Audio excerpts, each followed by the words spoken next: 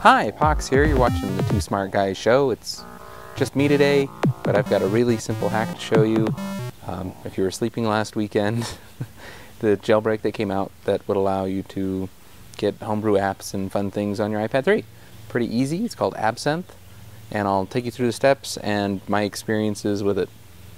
Uh, first off, it's just a simple download. Uh, you go to bring, greenpoison.com. There's a link in our show notes.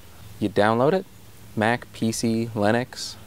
Before you run it, you want to make sure and back up your iPad in iTunes and then go to General, Settings, erase all content and settings off your iPad.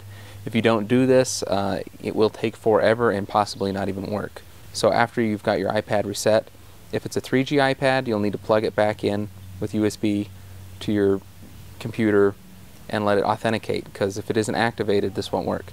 After it's activated, then you can go ahead and just click on jailbreak. And it does the whole process all by itself. It reboots a couple times. After it's all done, then you can go back into iTunes and then restore your iPad. And then when it comes back up, you can see that there's Cydia on there. And that's where you're going to go into, and that's where you're going to download all the fun stuff. You can get emulators like these, the Super Nintendo one, play your old Mario games, fun things that you can't normally do on an iPad.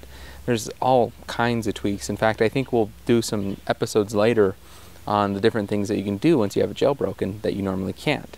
There's an app that allows you to run apps, iPhone apps, on the iPad in full screen mode, as opposed to just doubling it where the resolution's kind of funky. Pretty cool stuff. Um, if you like our show, we have longer, more in-depth shows, usually every Monday, and a live show every Wednesday at 8.30 Mountain Time. Uh, if you want to follow me, I'm uh, at Walking Crow on Twitter, and uh, subscribe, please, to the feed, uh, and leave comments below on what kind of jailbroken apps are your favorite and the reasons why you think people should go ahead and jailbreak their iPad or iPhone. See you guys next week. Bye. This has been the Too Smart Guys production.